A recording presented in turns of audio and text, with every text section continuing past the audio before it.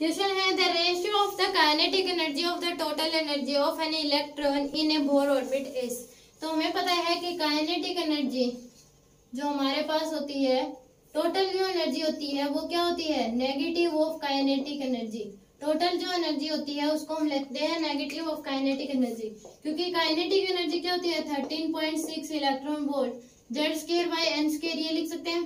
तो टोटल जो एनर्जी होती है, वो होती है negative into thirteen point six electron volt Z square by N square तो रेशियो लेंगे काइनेटिक एनर्जी डिवाइड बाई में टोटल एनर्जी तो क्या हो जाएगा? काइनेटिक एनर्जी डिवाइड बाई में नेगेटिव काइनेटिक एनर्जी तो क्या हो जाएगा? Minus one this is the question